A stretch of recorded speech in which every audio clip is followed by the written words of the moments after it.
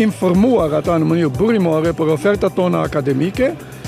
kryesisht të programeve studimore, të fakulteteve dhe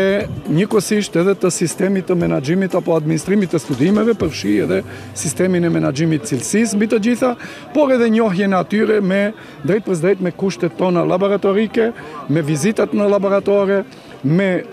infrastrukturën dhe ofertën që ka universiteti, ambientin universitar, ku mund të jetë një opcion i studimeve të tyre. Target janë maturantët, por nuk përjashtohen që të jetë edhe vite tjera të prezencës këtu. Normalisht që kjo frekvencë flet për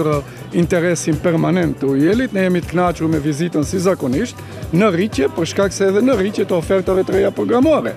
Përpos programeve që i kemi deri vitin e kaluar, sivjet shkojmë edhe me dy programe të reja, si refleks i kërkesave të tregut punës, pra ofrojmë programin e ri i cili sapo është akredituar i Politeknikut, që do përfshi studime trevjeçare për profilime të kuadrove që i kërkon tregu i punës, siç e dini është profileve teknike janë gjithnjë e më tepër të kërkuara dhe në atë funksion të informojmë studentët për kushtet, të informojmë për ofertën e bursave studimore, të informojmë edhe me stafin dhe ato që ne i kemi ofertë të përgjithshme akademike. Shpresojmë që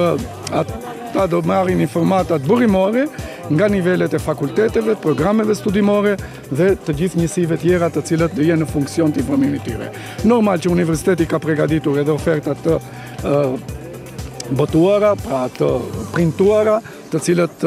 çdo student i ka mundësinë që t'i merr, po njëkohësisht edhe në formën digjitale përmes digjitalizimit përnjëherë në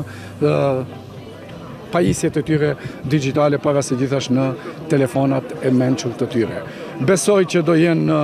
të informuar detalisht. Zakonisht të shpalja e numrave ofertave është pak më e lartë sesa që pranohen. Targeti jonë është që së paku të pranojmë Një mijë e njëqind studentë në gjeneratën e ardhshme,